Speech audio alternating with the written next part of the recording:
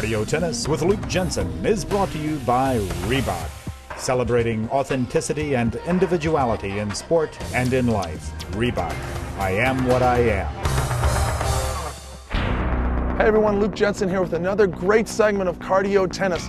The warm up, the most important part of any tennis player is the way they warm up. Yes, the forehands and backhands are important, but if your body isn't moving, you ain't getting to the ball.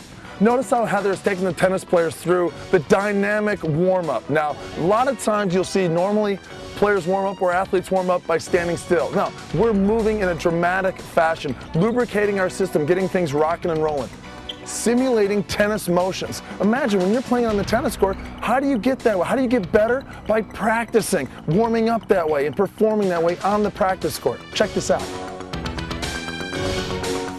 Up and back, side to side, high knees.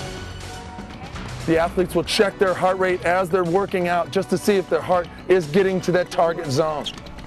Through a little five to 10 minute warm up, you notice these players are going through dynamic motions. You notice the lunges out to the side. You notice them going forward, going backward, simulating real tennis strokes. And you're going to see them hitting the tennis balls both with pace and with touch, with angles and with depth. The first five to 10 minutes has about three to four drills, just warming every stroke up, warming up the lower body, warming up the upper body. The great thing about tennis, it's a full body workout. And cardio tennis is designed to get that full body tuned and ready to take your game to the next level. One of the key things about cardio tennis is the music in the background. It keeps the blood moving, keeps the spirits high. Remember, this cardio tennis is about forehands and backhands, but mostly attitude. You've got to have a good, fresh look about it. Watch this.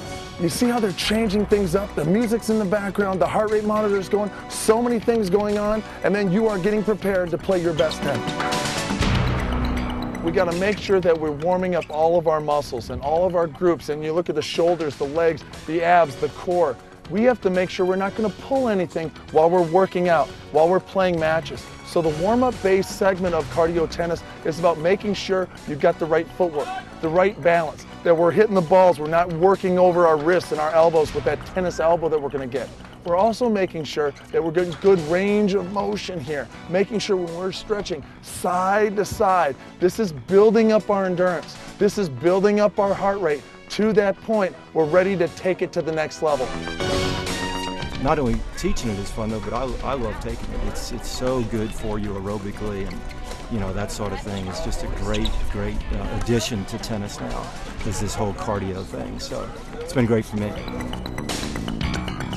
The Biggest thing is getting your coordination, your balance getting low, working over your lower body, working over your upper body, making sure this total body warm up is prepared for the next segment, which is the drill based group.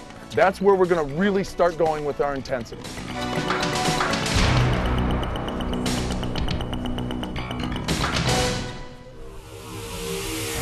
Cardio Tennis with Luke Jensen is brought to you by Reebok celebrating authenticity and individuality in sport and in life. Reebok, I am what I am.